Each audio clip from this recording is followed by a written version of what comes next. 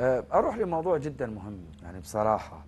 كثير أندية تتصل بسبب الانتخابات والهيئات الإدارية إنه هيئتين إدارية.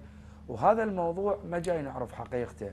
أه، رئيس اللجنة الأولمبية لازم العصا من النص ما جاي نعرف. طبعا هذا الكتاب يوم 28 بالشهر منازع بين طرفين.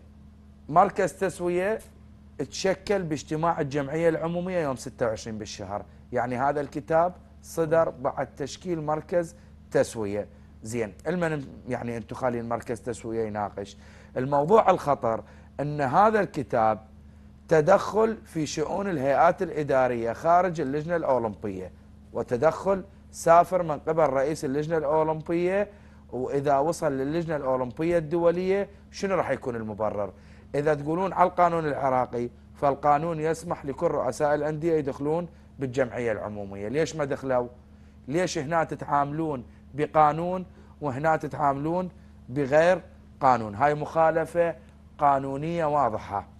علما هذا نادي المشخاب يعني اللي الصورة واضحة أمامنا ثلاث رؤساء اتحادات اتدخلوا من أجل إيقاف انتخابات نادي المشخاب وفق القانون لكن هاي الانتخابات قانونية من أجل بعض الأمور اللي آه، حتى أنا أنطيك تمثيل وأنت تعطيني تمثيل آه، وضغط على آه، مكتب الأندية الجديد اللي تشكل وأثروا على رئيس اللجنة الأولمبية وضغطوا حتى يوافق على هذا القرار.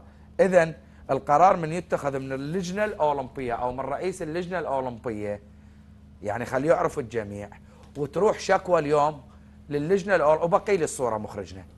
هذا الكتاب هسه إذا هذا النادي راح اشتكى باللجنة الأولمبية الدولية راح تتوقف الرياضة بالعراق لأن ما من حق اللجنة الأولمبية تتدخل تدخل مباشر بالأندية والاتحادات.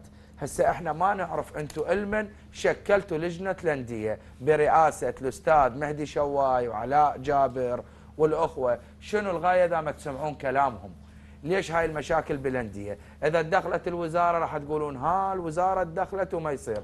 وإذا جوي عليكم الناس أنتم لا تحلون ولا تربطون ومجاملات ونصعد للمكتب القانوني والمكتب القانوني يرفعها للجنة الأندية ولجنة الأندية ترفع التوصيات لرئيس اللجنة وهم تدخل رئيس اللجنة.